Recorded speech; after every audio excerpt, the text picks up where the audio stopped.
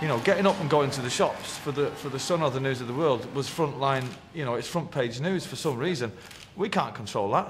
All we can do is try to stay young and beautiful. You know, I mean that's hard enough as it is, love. They don't go and go, oh, maybe I should try that thing that the Guardian suggested. You know, they think, right, that'll do great when I've got Easy the on the car Guardian. Well, look, easy on the Guardian. The press would generally ask what had gone on. No, we they would ask- we would no, they- politely they, ask, tell- they ask themselves the, que- themselves the question and then answer it for you. I've never spoke to anyone in the Sun, the Mirror, News of the World or any of them papers in my entire life, but they always say, seem to have an exclusive by me. Right, anyone fancy a pint? It's people's band, isn't it, hopefully? That's what they want. They ain't faking it, you know, it is, what they see on stage is what they see off stage, you know what I mean? There's none of that like, yeah, I'm here tonight, Matthew, and tomorrow, you know, people are, you know, praying to the Lord. We appeal to the average person, you know? I And, think- You know, they don't need to be praying it to I think that when they come to our gigs, that it's going to be exciting. And every time we do three gigs in a row, one is going to be appalling and two are going to be great. So it's like having a little game of cards.